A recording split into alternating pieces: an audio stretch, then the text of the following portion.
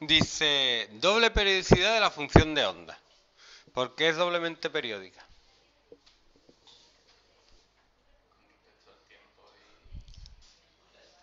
Y a la distancia. Tiene la X y la T. ¿Vale?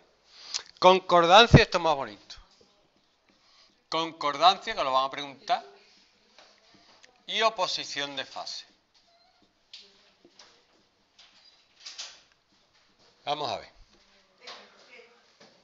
Dice, si yo tengo una onda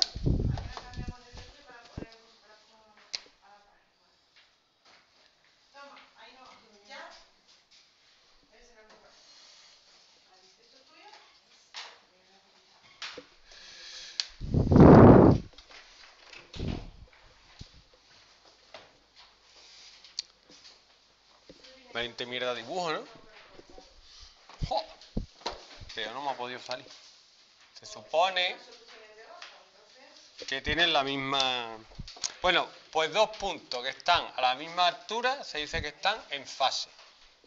¿Vale? ¿Cuál es la distancia entre dos puntos que están en fase?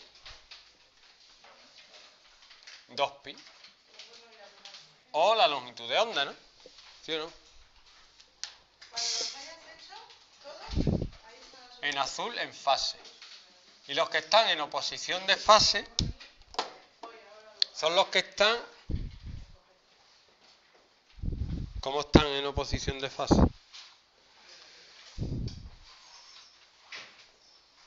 A ver, este, por ejemplo,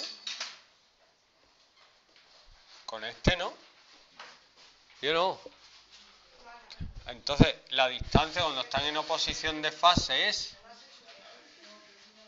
¿Eh? Lambda medio. Sí, sí, de aquí hemos hecho tres. Sí, de aquí he sacado... A ver. Sí, de aquí he sacado uno de cada tipo. Así es que. Pues ya está. Ahora me pegan una formulita, ¿vale? Que para mí es importante, dice.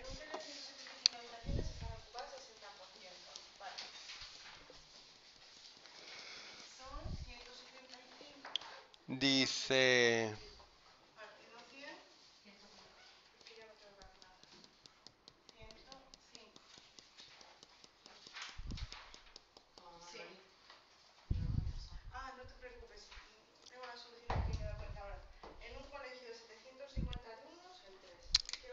En fase. Sí, la diferencia entre los dos puntos. ¿Qué tanto N por lambda. Es lo que yo he dicho, ¿no? Hasta una diferencia de lambda, N es cualquier número. ¿Vale? Y en oposición de fase, viene que x2 menos x1.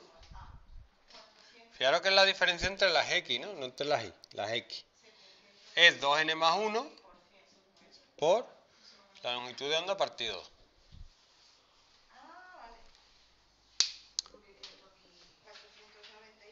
Si n vale 0, me queda la longitud de onda partido 2, ¿vale?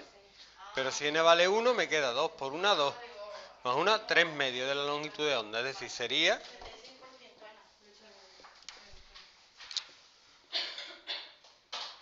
Este y así hasta el infinito. Es decir, una longitud de onda más y otra longitud de onda más y otra longitud de onda más.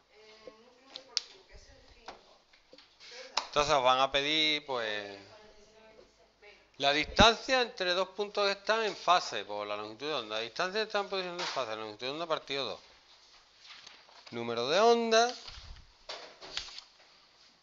Ya está. El resto es